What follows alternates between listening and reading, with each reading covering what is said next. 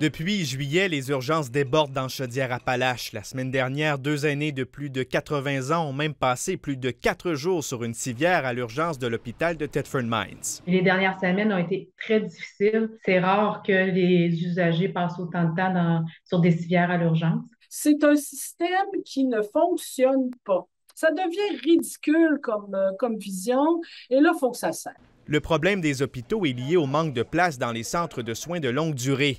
Faute de lits en CHSLD, les aînés restent à l'hôpital même s'ils n'ont plus besoin d'y être. On n'est pas capable de les relocaliser au bon endroit pour eux, donc durant ce temps-là, on les garde dans nos lits d'hospitalisation. Pour désengorger les hôpitaux, le CIS de Chaudière-Appalaches envisage donc d'acheter des places dans les résidences privées pour aînés, les RPA.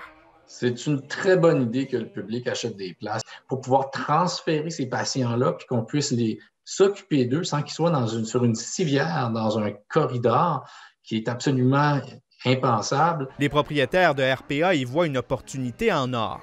Le public n'a pas la capacité de gérer les demandes depuis plus d'une décennie déjà. On sait qu'on a des listes d'attente dans les CHSLD d'à peu près 4000 personnes. Mais les RPA n'étaient pas faites pour ça.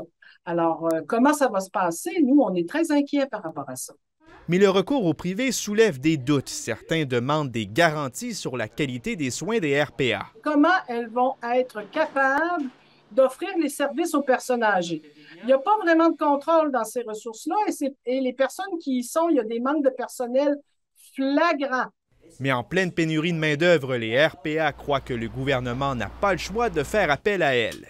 Un des problèmes qu'on a, c'est que le gouvernement essaie toujours de négocier puis de pas payer. Si la rémunération est là, c'est sûr qu'on va pouvoir payer les gens puis les attirer. Depuis 2020, 25 RPA ont fermé leurs portes en Chaudière-Appalaches. Malgré les nouvelles ouvertures, la région a perdu près de 200 lits.